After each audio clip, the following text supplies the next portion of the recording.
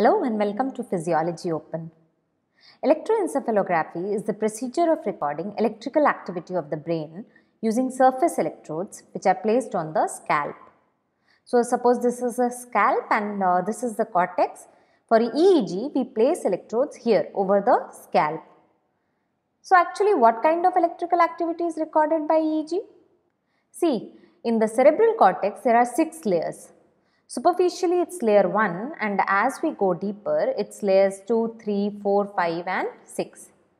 Now the cell bodies of neurons are present in deep layers and their axons go further deep.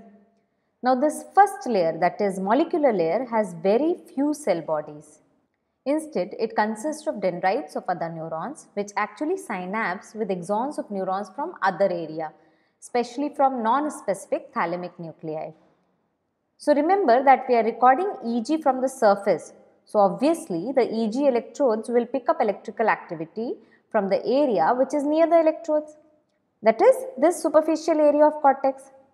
Now see, action potentials in neurons arise from here, from the junction between the cell body and the axon. While at the dendrites, there are only graded potentials known as postsynaptic potential due to signals from these synapses. Now these graded potentials can be either excitatory causing change in potential towards positive that is excitatory postsynaptic potential or it can be inhibitory known as inhibitory postsynaptic potential. So basically EEG electrodes pick up these excitatory and inhibitory postsynaptic potentials that too which are near the electrodes and the magnitude of voltage recorded is a sum of these EPSPs and IPSPs. So, two things to remember here. One, these electrodes do not pick up action potential and the electrical activity recorded by these electrodes is a sum of all excitatory and inhibitory postsynaptic potentials which these electrodes pick up. And secondly, if the activity is near the electrode, the effect of that activity on the sum will be more than if that activity is say little bit away from the electrode. See, obviously if some activity is happening here far away from the electrode, the voltage recorded by these electrodes will be lesser than if the same activity is happening somewhere here near the electrode. Okay, before we proceed, let's see some hypothetical examples of summing up of electrical activity. This will help you in understanding EEG waves. See, in this figure, there is equal positive and negative excitation near the electrode. That's just hypothetical we are talking. So, it will sum up and the recorded activity will be like this or say this one. In this there is simultaneous EPSPs in two postsynaptic neurons or we can say there is synchronized activation. So there is adding up of activity causing increased amplitude. But in this other example, excitation is similar but it is not happening at the same time or we can say it is desynchronized. So there is adding up of potential but the amplitude has not increased. Instead, frequency of recorded waves has increased. Basically, if there is synchronized activation of cortex, amplitude of EEG waves is more, while frequency is lesser. And in case of desynchronized activation of cortex, amplitude is not much, but frequency is more. So that's why we refer EEG in terms of synchronized or desynchronized.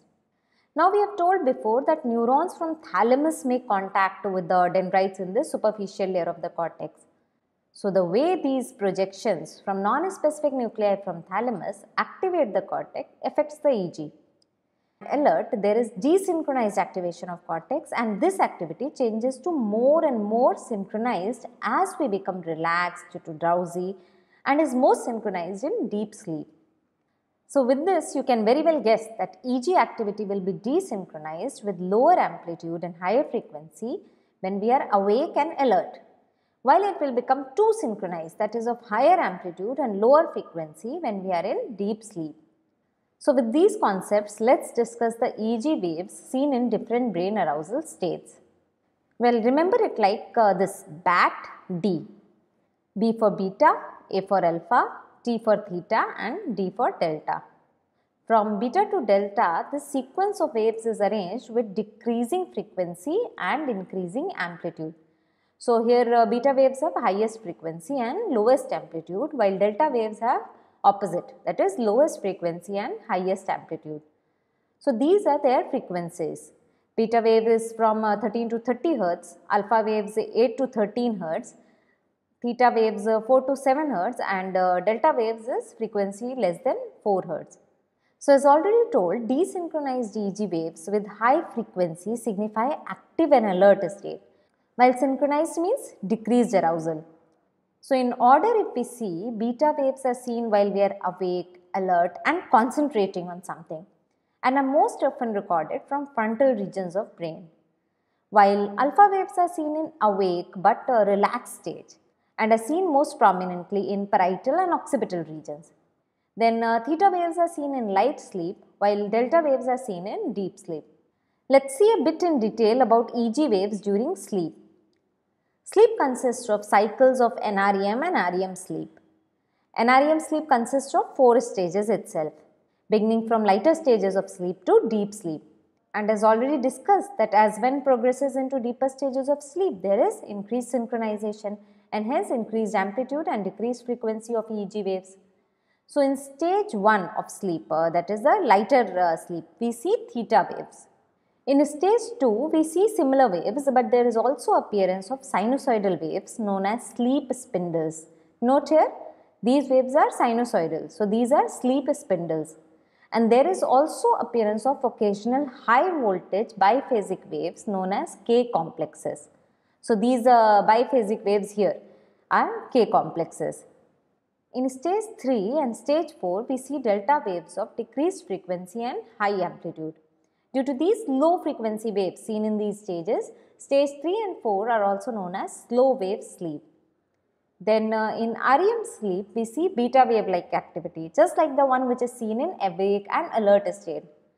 It appears paradoxical that even though we are sleeping, EEG brain activity resembles a awake state. So REM sleep is also known as paradoxical sleep. So that's all on EEG fundamentals and waves.